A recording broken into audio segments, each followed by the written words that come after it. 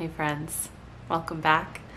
I'm Amanda. This is the Happy Homestead, and it's time to get caught up on some tea. I just made myself a cup of nettle, chamomile, and lemon balm tea. I still love my morning latte, but I have been immersing myself into herbal medicine and all of the amazing things that that can bring as to one's health and how to use each of the herbs. So I specifically chose this variety of uh, blend because I want calmness, I want serenity, and uh, overall well-being while we chat. So today is Sunday, January 28th, and I have not filmed for the Three Rivers Challenge for dinner for the Pantry Challenge. Um, I think I in so it was Wednesday and Thursday night I did not film.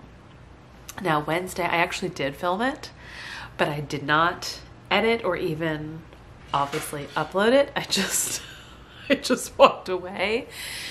Wednesday was a train wreck for me and my family. And so even during the filming process, it was like I can't I can't I can't do this. I can't do this to you. I can't do this to my family. We were a train wreck. We were all hangry, tired, you know, all of the things. But we had egg roll in a bowl, which is always a hit, and I will absolutely do that again so you can see it.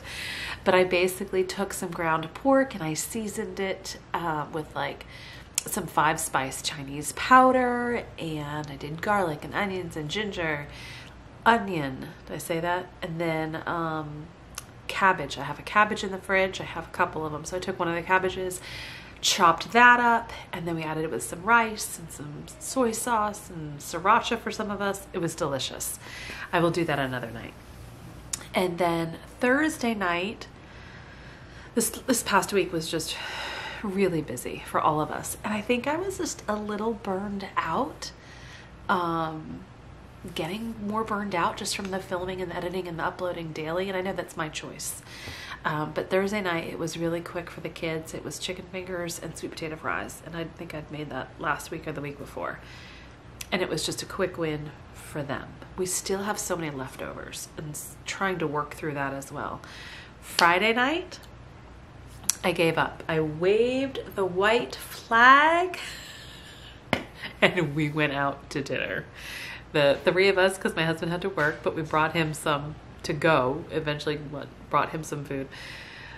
We went to get sushi, and it was so divine and so delicious. But not having to cook that night, even though Friday is usually pizza, it was just like I just needed a break. And I know you you can relate to that. Sometimes we just get a little burned out and we just need a break and it was so good. It was delicious. Now, to be fully transparent, between the three of us and my husband's to go order and tax and tip, it was like $115. That's insane. I mean, I know it's expensive, but you know, when you don't do it that often, it, it's like, you know, gets to you a little bit. Uh, but we owned it. We obviously paid it and we enjoyed it. And then, okay, so that was Friday night. So then last night, Saturday, what did we do? Leftovers. Oh, no, no, I made pizza. So I made the pizza last night that normally we would have had Friday. And that was good. Um, so tonight we're back on track. I have a chicken in the oven, in the Dutch oven, in the oven, and it's going to be ready in about 30 ish minutes. Same way I always do chicken. It's in a covered cast iron Dutch oven. I sprinkle it with Redmond real salt, lemon pepper seasoning. Put the lid on, put it in the oven. It's 375 degrees. It's about a three pound chicken, so it's kind of smaller. But between an hour and a half and two hours, it's usually done perfectly.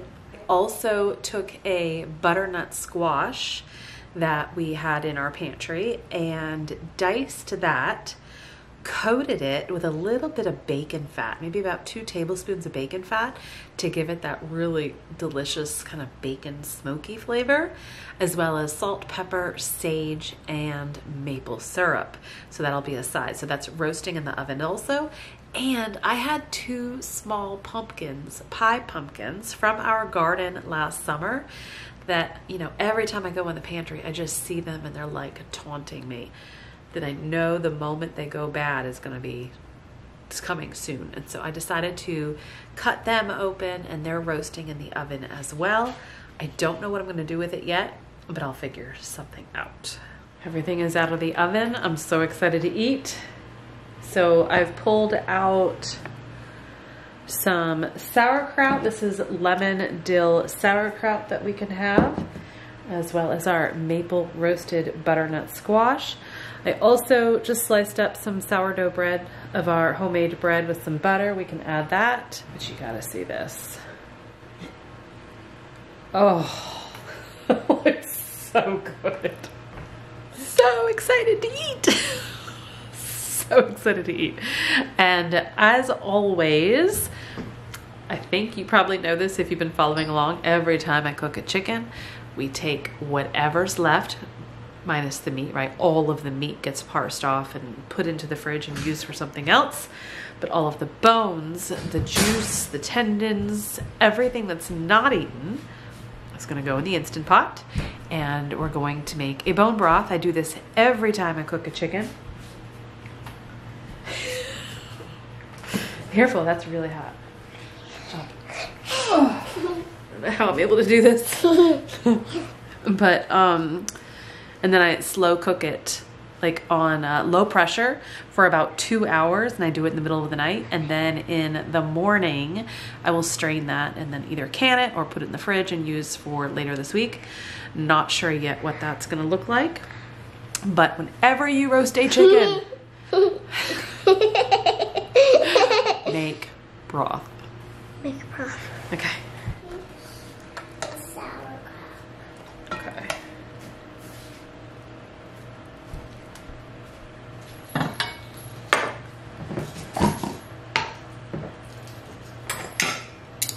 Mama, look. We look good. Bon appetit.